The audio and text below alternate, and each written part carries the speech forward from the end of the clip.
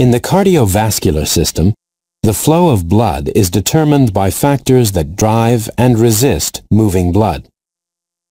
Even the system's level of production, known as cardiac output, can be measured as a ratio of driving force to resistance. Feedback loops in the central nervous and endocrine systems both change and regulate blood pressure and vascular resistance, and therefore have an important impact on cardiac output.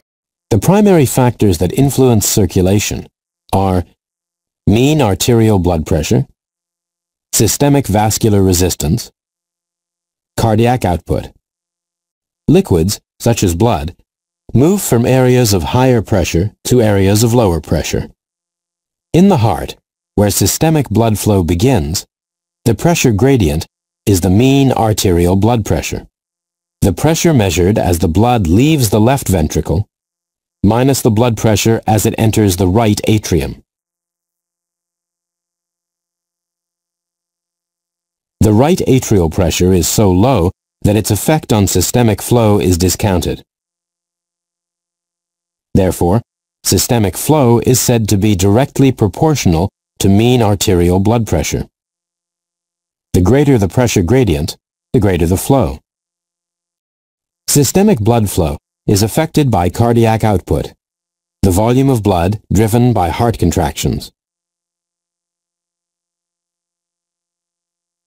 Cardiac output is the product of heart rate and stroke volume, and is influenced by venous return, the contractile strength of cardiac muscle cells, and metabolic demands.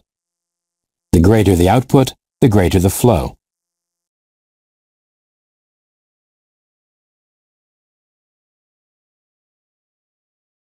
Systemic vascular resistance is simply the natural dampening of blood flow that occurs in the vessel. The greater the resistance, the harder it is to move blood through the vessel. Factors that increase resistance are smaller vessel radius,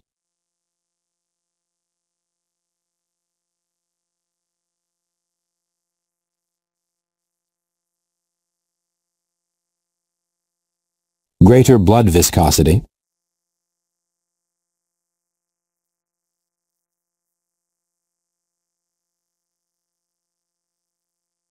and longer vessel length. The greater the resistance, the greater cardiac output and blood pressure must be to overcome the resistance.